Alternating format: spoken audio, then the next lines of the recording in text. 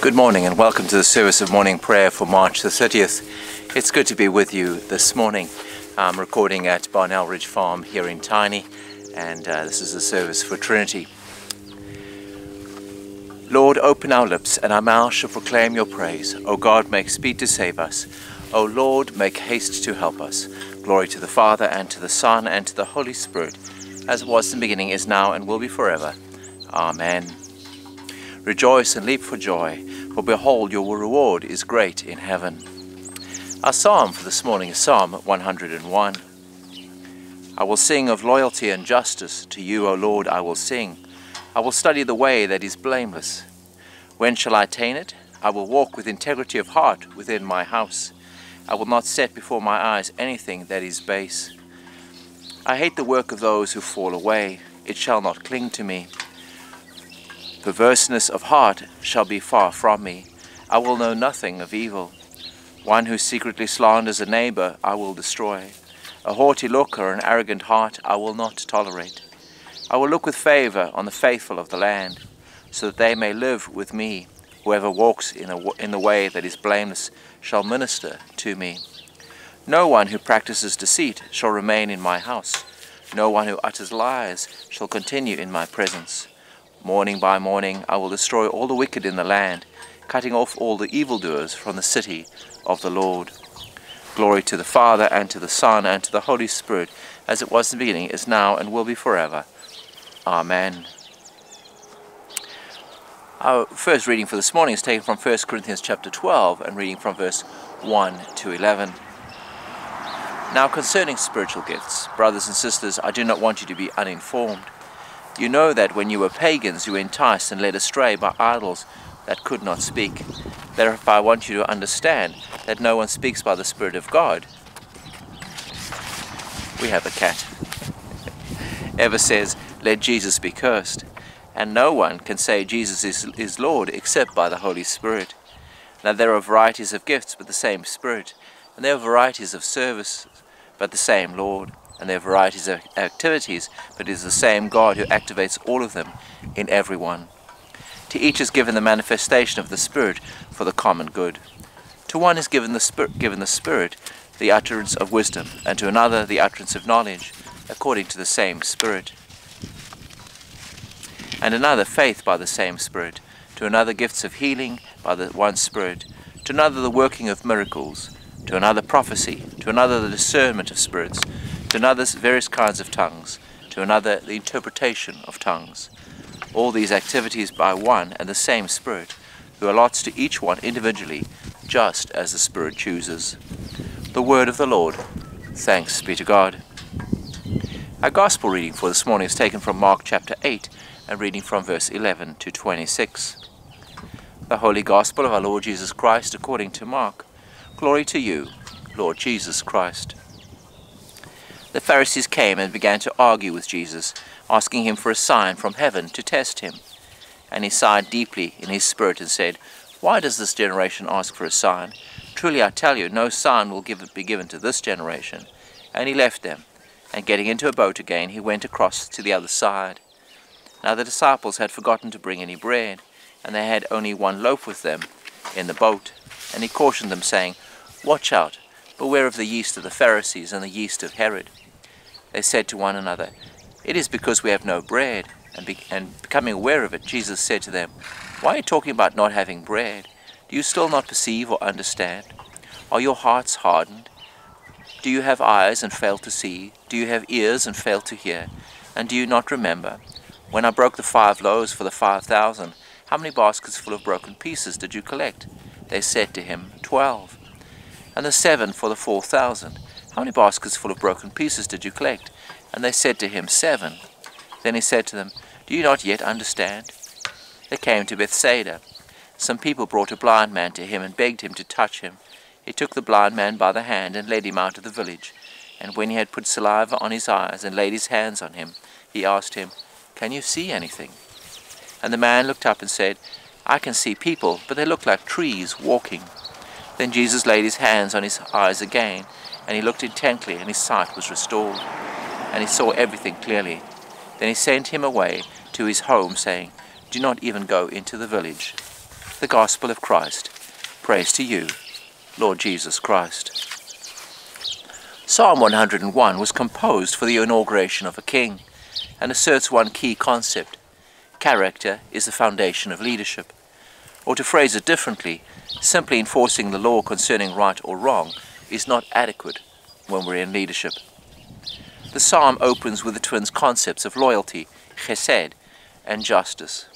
Loyalty here has the same Hebrew root as unfailing love or compassion, hasid, and suggests that the loyalty of the king and the people is rooted in the mutual understanding of an unfailing love.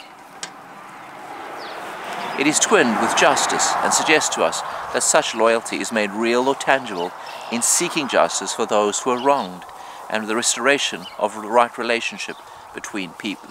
between people. The Hebrew concept of justice is not about punishing for doing wrong, but about restoration to what is right and good, what we call restorative justice today. Importantly, such a role by the king is rooted in the king's divine calling to live out the character of God and to be empowered by God for such a task. Hence the reference to, when will I attain it? Or, when will you come to me in reference to God?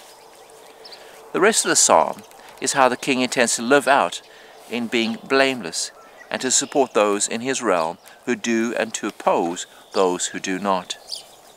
The central idea of moral character that defines the king is blameless, tamim, and integrity, tom. These same terms are used in Psalm, 1, eh, Psalm 18 and Psalm 78 to describe the king's righteousness and carry the idea of wholeness, completeness, and finished. They speak of a consistency between the values ascribed to loyalty and justice, and how those are lived out in a way that demonstrates wholeness, completeness, and that brings things to completion in contrast to hypocrisy. They speak of a deep commitment and dependency on God to make them real and tangible in the life of the one who seeks loyalty and justice. Integrity of heart is contrasted in the psalm with perverseness of heart. Perverseness means that conduct that is twisted, inconsistent, and lacking in coherence with that inner commitment. The litany of the wrongs are characterized by, by perverseness of heart include evil, wicked, base, falling away, secret slander, haughty arrogance, deceit, and lies. All things we loathe to see in somebody in leadership that promises us loyalty and justice. The list of wrongs is more than a list, it's a significant failure of character.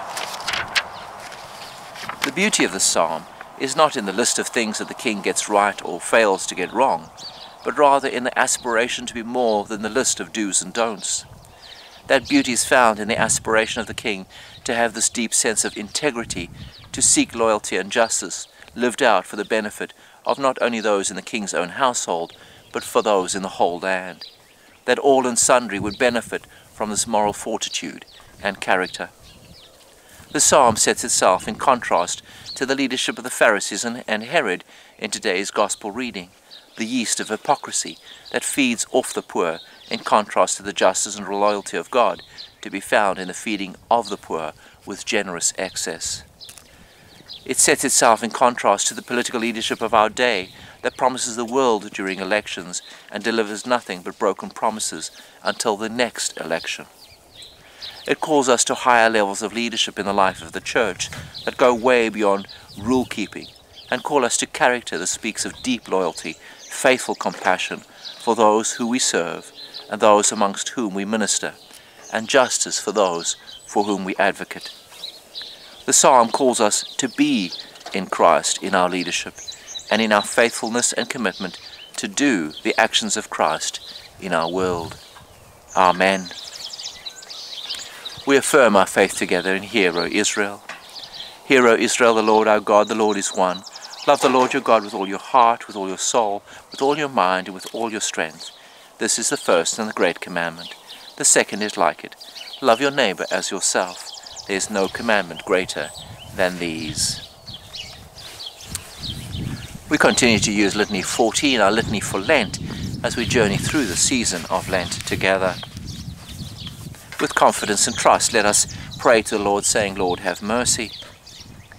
We pray for one holy Catholic and Apostolic Church throughout the world. We pray to you, Lord. Lord, have mercy. For the mission of the Church, that in faithful witness it may preach the gospel to the ends of the earth, we pray to you, Lord.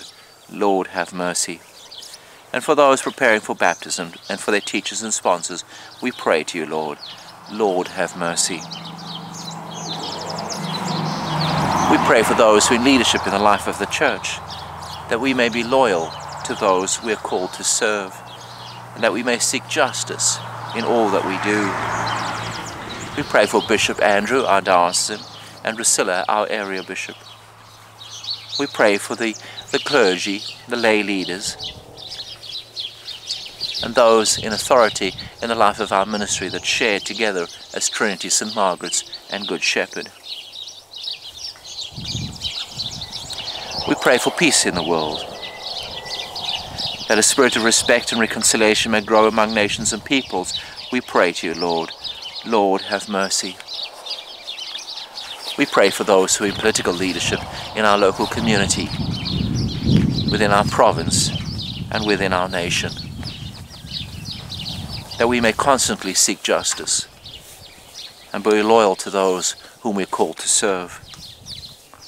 We pray for the people of Ukraine. We give thanks for the leadership of those who've uh, led Ukraine through this really horrific circumstance. We pray for those in leadership in Russia, that they may seek justice, compassion, mercy and grace. We pray for the poor, the persecuted, the sick and all who suffer, for refugees, prisoners and all in danger, that they may be relieved and protected, we pray to you, Lord. Lord, have mercy. We pray for those who have requested prayers from us, those on our parish prayer list. And this morning we pray particularly for Stephanie, who will be going through surgery on Thursday. We pray for the refugees in our community, those who are fleeing places of conflict and war. We pray for prisoners and those in prison. We pray for those who minister to them. We pray for all whom we have offended. We pray to you, Lord. Lord, have mercy. And for grace to amend our lives and to further the reign of God, we pray to you, Lord. Lord, have mercy. Gracious Father, whose blessed Son Jesus Christ came from heaven to, the, to be the true bread which gives life to the world, evermore give us this bread, that we may live in, he may live in us, and we in him, who lives and reigns with you in the Holy Spirit, one God, now and forever. Amen. And gathering our prayers and praises into one, let us pray as our Saviour has taught us. Our Father in heaven, hallowed be your name. Your kingdom come, your will be done, on earth as it is in heaven. Give us today our daily bread. Forgive us our sins as we forgive those who sin against us. Save us from the time of trial and deliver us from evil.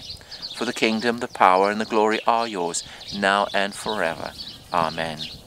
Let us bless the Lord. Thanks be to God. Just a reminder that we have a series of Lenten courses that are ongoing at the moment, including a study of John's Gospel, um, hosted at St. Margaret's and online and then also our conversations around theology in the city. And this coming Friday, um, we have a gentleman from the city of Barrie who will be coming to speak to us on environmental issues. And then we have a prayer service uh, this evening on Wednesday, the 30th, um, for the Ukraine. Um, it will be at St. Margaret's Barrie and is hosted by St. Margaret's and West Side Lutheran. It starts at 7 p.m. and uh, will be live streamed um, on the St. Margaret's website. May the God of hope fill us with joy and peace in believing through the power of the Holy Spirit. Amen. And the blessing of God Almighty, the Father, the Son, and the Holy Spirit rest upon you now and forevermore. Amen.